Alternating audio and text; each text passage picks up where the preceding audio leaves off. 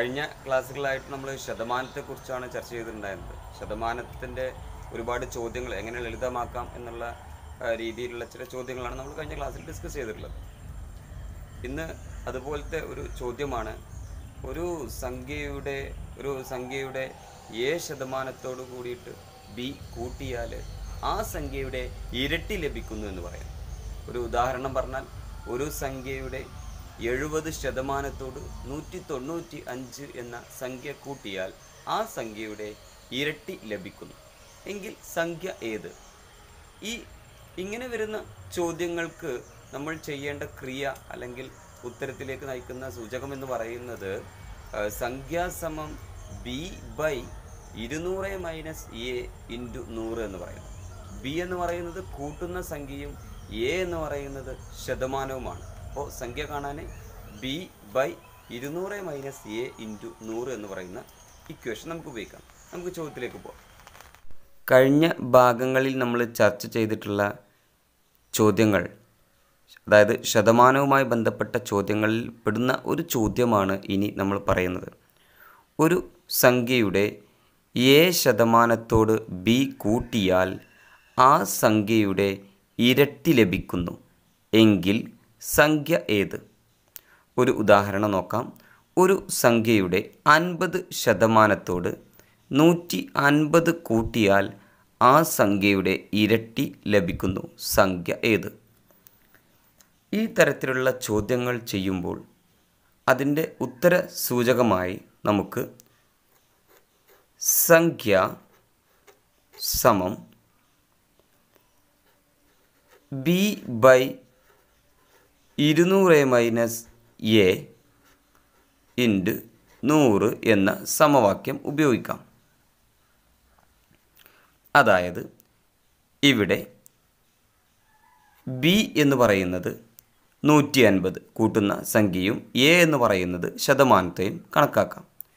അപ്പോൾ ബി നൂറ്റി അൻപത് ബൈ ഇരുന്നൂറ് മൈനസ് അൻപത് ഇന്റു നൂറ്.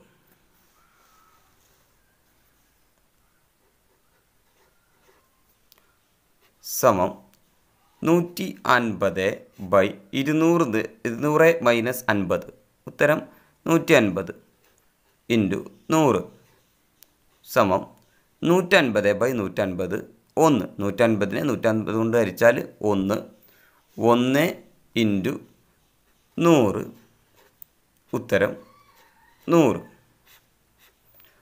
അതായത് ഒരു സംഖ്യയുടെ അൻപത് ശതമാനത്തോട് നൂറ്റി അൻപത് കൂട്ടിയാൽ ആ സംഖ്യയുടെ ഇരട്ടി ലഭിക്കുന്നു. എങ്കിൽ സംഖ്യ ഏത് എന്നാണ് ചോദ്യം. സംഖ്യ നൂറാണ്. ഈ സംഖ്യയുടെ അൻപത് ശതമാനം എന്ന് പറഞ്ഞാൽ നൂറിന്റെ അൻപത് ശതമാനം അൻപത് തന്നെയാണ്. അതിനോട് നൂറ്റൻപത് കൂട്ടുമ്പോൾ അൻപത് കൂട്ടണം നൂറ്റൻപത് എന്ന് പറയുമ്പോൾ നേരത്തെ സംഖ്യയുടെ ഇരട്ടി ലഭിക്കുന്നു. ശരി തന്നെയല്ലേ? അൻപത് പ്ലസ് നൂറ്റൻപത് എന്ന് പറയുന്നത് ഇരുന്നൂറല്ലേ?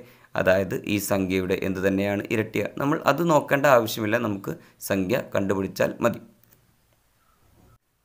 മറ്റൊരു ഉദാഹരണം.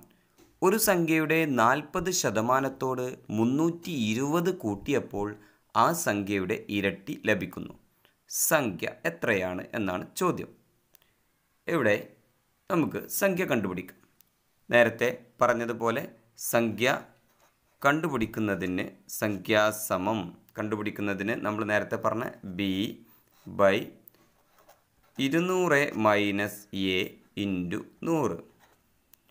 ബി എന്ന് പറയുന്നത് കൂട്ടിയ സംഖ്യ അതായത് മുന്നൂറ്റി ഇരുപത്. മുന്നൂറ്റി ഇരുപത് ബൈ ഇരുന്നൂറ് മൈനസ് എ. ഇരുന്നൂറ് മൈനസ് എ എന്ന് പറയുന്നത് ശതമാനം അതായത് നാൽപ്പത് ഇന്റു നൂറ്.